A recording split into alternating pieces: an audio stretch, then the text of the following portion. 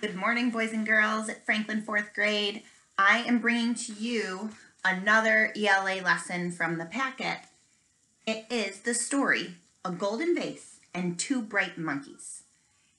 And all this is, is using all of the information you have already learned, all of the skills you've already had from kindergarten on up, and especially the skills Mr. Myers and I have been showing you in our videos since we started this at-home instruction. So when you read this article, it's, it's about two and a half pages. Um, you should, after reading it, reading it closely and several times, be able to use all the skills you have to answer the questions in the back. One of the things I want you to remember, something we learned way back in the classroom, about inferring. Inferring is a way to use your text clues, all the things that you figure out as you're reading, along with your schema, which is your background knowledge, the things that you already know just from living life or reading stories or um, hanging out with your friends. Just schema. It's all the things that you know in your life. It's all the background knowledge in your head that you've learned along the way. And using the text clues and the schema together to make an inference. That's an educated guess, a good guess of what you think something might be.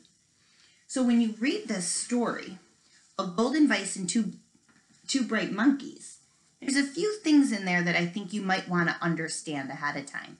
And one of them is a story about King Midas. It says in here that um, the two main characters, Dorje and Sonam, which is something we'll talk about in a second, were digging for gold and or digging and they found what they thought was gold. And they said we must have the touch of midas. And the touch of midas is something that you need to know about. And it's a story from greek mythology. And what's interesting to me is that you read a story with mr myers the catfish that referenced tantalus from greek mythology. We've also talked about greek and latin roots and how they can help you um, understand words you might not know.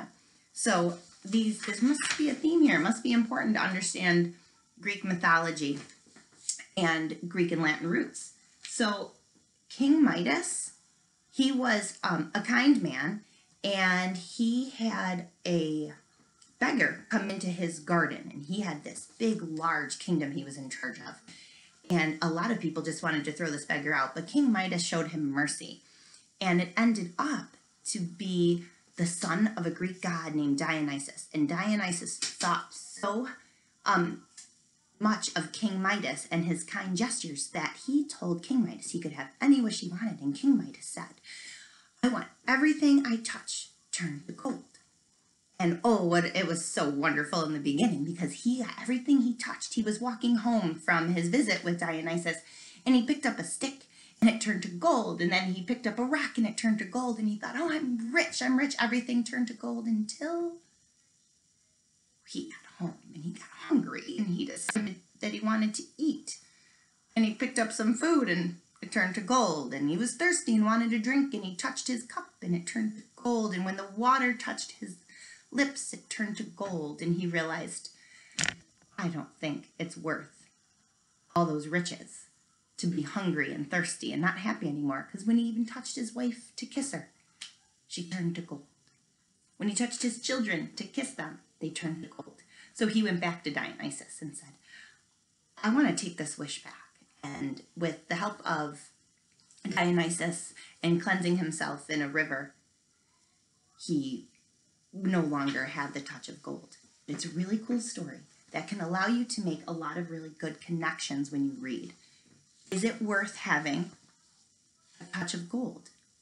And a little aside, those of you fourth graders who have read The Chocolate Touch, it's a great story. It's kind of the same thing. It's like every kid wants everything to be chocolate. Well, what happens if everything you touch becomes chocolate?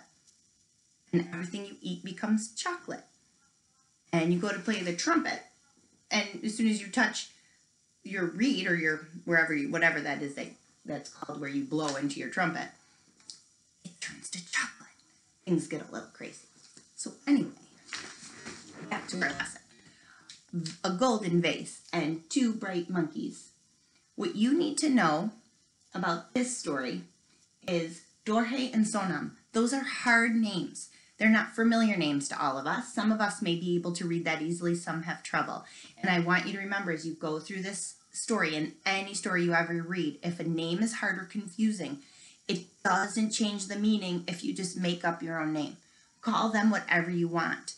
Call them by the first letter, D and S, or just Do and San, whatever it is that gets you through the text. The trick is to keep it the same. Every time you say that name, make sure it's the same so that it doesn't change the meaning for you as you go through the story. The other things that you need to remember.